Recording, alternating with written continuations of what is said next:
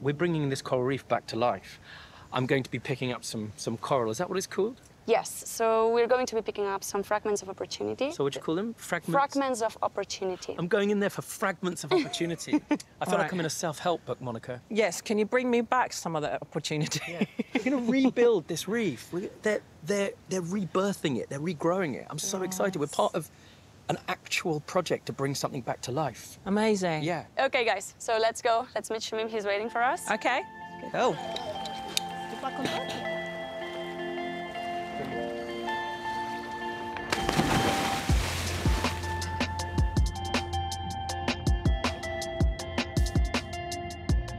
The strong El Nino effect in 2016 saw sea temperatures rise by a few degrees across the Maldives.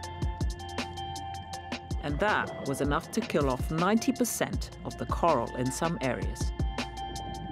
The reefs were badly affected, but some small pieces survived. It's a good dive, amazing underwater. More importantly, look what you brought back.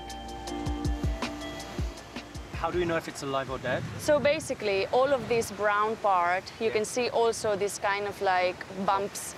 These are the polyps. Yeah, So this part of the well, this this is covered in coral, is alive. But this part here, dead. you can see that it's kind of like it looks more like a rock. Maybe it, it doesn't have any tissue on it. Yeah. So this is the tissue. These are the fragments Yes. of opportunity right yes. here. Here we are trying to get these little pieces that are about to die and just give them the second chance. So this is why. These living pieces are attached to metal frames. How many of these have you planted? We have around 12. And yeah. you can see the growth? Yes. Will, will, will, will I see that? Yes, you will see that. Oh, how exciting. Yes. And these frames are taken back out into the sea. The team choose sites where the water is more likely to be optimum for their growth, catching cooler currents that are full of nutrients. Is that Mon over there? Yeah, she's there, yeah. Yeah. So they planted the corals and now they move the frames inside the lagoon, okay? So this garden where Monica is swimming Yeah. is the garden of opportunity. Exactly, yeah. So after a few months, you can see all the beautiful marine life slowly come back. The ones that have had some time here are slowly starting to regrow. It's a long way from being a new reef, but it's a start, and something many resorts across the Maldives are also doing.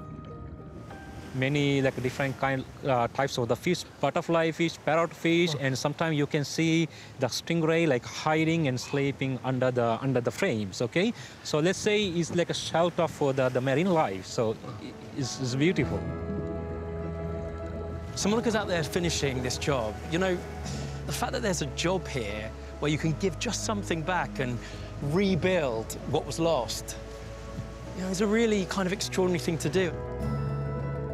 Only time will tell whether these small-scale human interventions will help take a step in the right direction to reverse the damage this ecosystem has suffered.